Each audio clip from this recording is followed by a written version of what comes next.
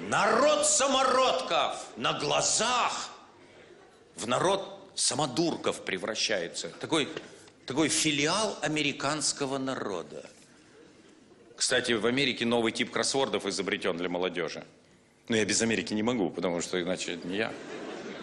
Да я бы обманул ваши ожидания, поэтому что-то же надо же сказать же. Так вот, в Америке кроссворды новые появились. Чтобы отгадать слово, достаточно стереть с квадратиков защитный слой.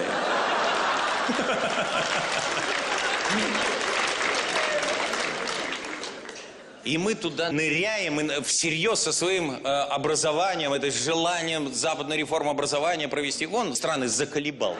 Вот они уже занырнули под Америку. И чего? Эстонские школьники подобрали раненого лосенка и в течение суток пытались засунуть его в скворечник. А в Америке сейчас многие журналисты работают наши. И они насмотрелись моих программ и решили прикалываться, делать опрос молодежи. Они с таким ужасом выяснили, что многие среди молодых людей в Америке думают, что Берлинская стена в Израиле, что Сталин отец Гитлера, что мечеть это животное, такая помесь зебры с жирафом, такой замес крутой, что индейцы метко стреляли из лука с оптическим прицелом, что картошка фри это сорт картошки, что давление атмосферное измеряется в долларах, а Леонардо да Винчи рисовал улыбку Кандализы. Ужас, этот триллер просто какой-то. Ой, как же любят американских туристов во всем мире, потому что торгаши, потому что им можно такое втюхивать, что никому не втюхнешь больше, кроме, кроме америкоса. Когда при мне араб продал американскому туристу Библию с прижизненными фотографиями апостолов. Я был счастлив. Америкос в Париж приехал. Ну, был наслышан о парижской кухне, о французской кухне. Вернулся в Америку, говорит, ну, был я, пробовал эту французскую кухню. Макдональдс как Макдональдс. Ну, правда, у нас появились перцы, которые и этому дадут фору. Наш зашел кое-какер зашел в Риме в католический собор, а там же есть вот эти, э, ну, такие как будки, где отпускают вам грехи. И там падре сидел. А это стоял, стоял. Подошел, говорит, Мальборо легкие.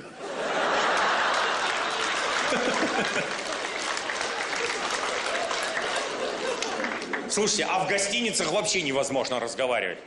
В гостиницах теперь Page Girl, Bellboy. Вообще ощущение, что ты в публичном доме находишься, а не в гостинице. Мойщики туалетов – вошингеры. Это они в шее вычесывают и выскабливают из туалета. Уборка номера 10 down service. Мне звонок в номер. Вы кэшем расплачиваться будете? Я знаю, что такое кэш, знаю, но мне, для меня это зубная боль в сердце. Конечно, я говорю, какой кашей? У меня нет никакой А я вообще обожаю к ним прикалываться, потому что тот, кто называет себя всерьез ресепшн, ну, требует того, чтобы к нему прикалывались. Я на третьем этаже в гостинице, ресепшн на первом. Я звоню, спрашиваю, это низ? Какой низ? Я говорю, ну вы на первом этаже, я на третьем. Значит, вы низ? Мы ресепшн. Еще одна. Я говорю, тогда вы ресепсионистка. говорит, да, я старшая ресепсионистка. Юмор не ловится же уже этим мозгом. Звонит мне ресепсионистка в номер. Говорит, когда будете делать чекаут? Я знаю, что такое чекаут, но я не могу всерьез отвечать. Я говорю, че-че? Она мне расшифровывает, когда чекаутиться будете? Я ей говорю, закончу чемоданинг с душингом, буду делать свалинг. Может быть, до этого сделаю стыбзинг полотенца. Я знаю, что вы смеетесь, половина занимается этим.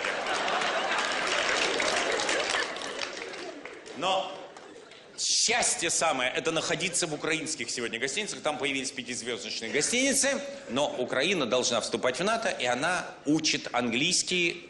То есть они учат окей, как говорить. Я много раз говорил по телевидению, у них с трудом это получается, у них получается окей же, а это же невозможно же слушать же. Этот же окей же. А все равно косят под америкосов. Ну, такие картинки забавные. Э, Вот гостиница пятизвездочная, Палас в Киеве. Стоит менеджер, э, ждет лифта. А он должен, как американец, выражаться. Когда американец стоит на третьем или на четвертом этаже, ждет лифта, проезжает лифт, там люди, открываются двери, американец спрашивает, а ему вниз ехать? Он спрашивает, даун. Вот. Едет лифт. Этот, который косит под америкоса. А в лифте нормальный донецкий пацан едет. Такой лох в законе, зубы веером. Тату- татуаж пятки. В общем, а этот его спрашивает, даун? Это я тебе, сука, устрою даун сейчас. И я в этой ситуации на стороне донецкого пацана, между прочим, друзья мои. Казалось бы, все, кирдык русскому языку. Нет, нет, жив курилка. Друзья мои, я думаю, что все не так страшно, потому что все равно русский язык сохраняется. Сохраняется он благодаря простому народу, который живет еще в провинциальных городах, который не заморочен вот этой западной западней. И русский язык нам очень интересные такие советы дает. Во-первых, первый совет. Почему нам западная жизнь не подходит? Да потому что в русском языке есть такие выражения, которых нет в других языках мира. И эти выражения нам показывают, что мы изначально другие. Например, есть выражение, которое вы все часто употребляете, но ни- ни- никто из вас наверняка не задумался над его смыслом. Ничего себе, только у русских восклицания. А теперь вдумайтесь, себе ничего. То есть мы не созданы для мира потребления. Это выражение нельзя объяснить американцу. Как ничего себе? А проценты в банке? Вы чего? Мы другие. Мы не созданы для мира потребления. Мы не можем быть счастливыми в мире потребления. Западный мир – это мир торгашей и вояк. У них более деловые языки. Они укороченные. Быстрее до бабок добраться можно с их языком. Быстрее войну затеять. Мы другие. Наш человек вот разведет кого-то, украдет, и он не бывает счастлив. Нет, итальянец украдет. Ой, он счастлив будет полжизни. Ну, итальянцы это вообще такие отгламуренные кавказцы. А, а наш вот украл, и пока он не напьется на эти деньги, он, причем он еще доложит те, что честно заработал. И вот тогда он будет счастливым. Да, мы другие. Торговцы создают юридические законы, а мы еще природные. Только у нас есть выражение, как будем судить, по закону или по справедливости. В мире за это посадить могут, если вы скажете. За такое нарушение юридических законов. И еще один очень характерный такой момент, который показывает, что мы действительно другие. Вот смотрите, наш человек счастлив, да когда он дарит людям что-то. Слово «счастье» только в русском языке от слова «соучастие». Этого ни в одном языке мира нет. А, де- а делать – делить. Наш человек, когда делится, счастлив. Поэтому наш человек любит подарки, что? Дарить. Он счастлив, когда он дарит. А иностранец, когда получает. Поэтому иностранцы всегда дрянь дарят. Вот мелочь такую, такие, такую дрянь всегда, чушню какую-то. Вы смеетесь, а мне в Монреале канадец подарил значок города Монреаля. Спасибо тебе большое. Я ради этого ехал к тебе. А в Нью-Йорке семья подарила мне подарочный вариант карты метро Нью-Йорка. Это же, это какими надо быть скупердяй? Это как вообще могло прийти на ум подарочный вариант плана метро выпустить? Это значит, у них принято это дарить. Но добила меня в Техасе женщина одна на мой день рождения. Она всерьез мне подарила. Такая натянутая такая мезотерапия мозга, омоложение обоих полушарий. И она мне подарила Набор открыток на день рождения. Каких? Я никогда этого не забуду. Набор открыток «Грызуны чилийского высокогорья». Ха-ха! Она еще меня по-американски заставила восхищаться этими грызунами. Посмотри, какой грызун. Я говорю, какой грызун? Я таких грызунов не видел никогда. У нас даже в правительстве, говорю, нет таких грызунов. Что? Ну, она этот юмор не поняла. Еще одна женщина в Нью-Йорке мне подарила самое святое. Я это храню и буду хранить до конца своих дней. Это самое дорогое, что у меня есть из всех подарков. Она подарила фотографию своей собаки с автографом этой собаки. А наш человек разве может такие подарки делать? Да он кайфа не испытает. Потому что счастье нашего это, это... Поэтому наш, замечали, долго ищет подарок. Он должен большую хрень купить. Пускай это хрень, но она большая должна быть. Чтобы он сам был доволен. Ему вообще не важно, нужна эта хрень ему, тому, кому он дарит или нет. Приходит, говорит, смотри, что я тебе подарил. А это думает, ё-моё, еще одну хрень принесли. И не просто, а с бантиком, чтобы счастье было в этот момент. И у него уже полный сарай хрени. Отсюда выражение ни хрена себе. Вот это.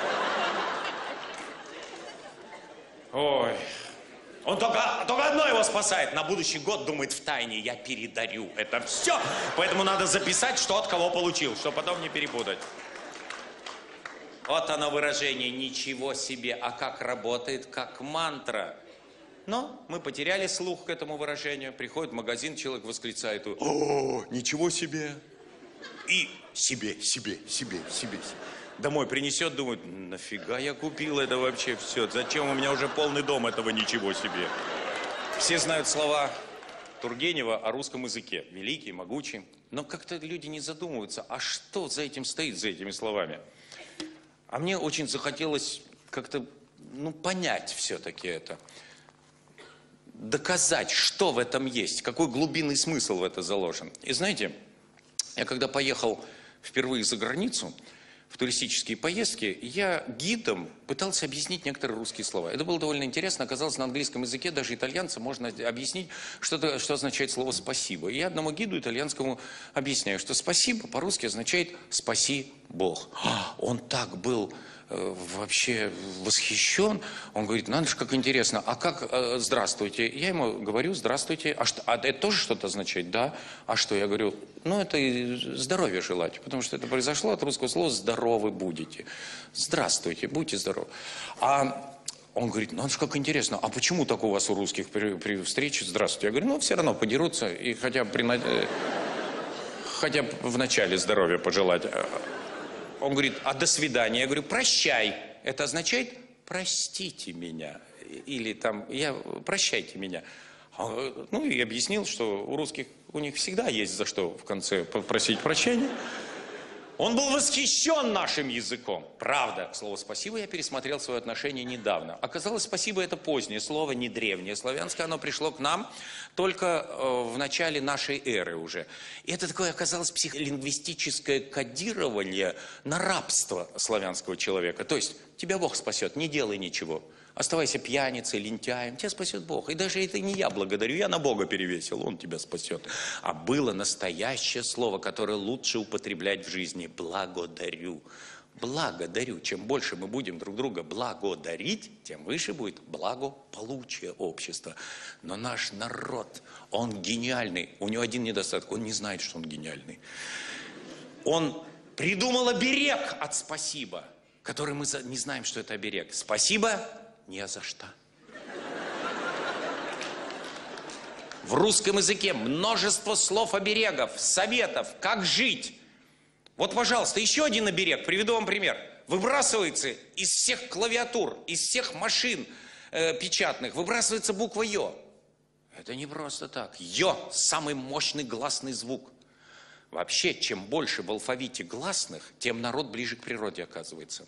А чем больше согласных, тем больше к городской жизни склонен, к соблюдению юридических законов, согласны с законами.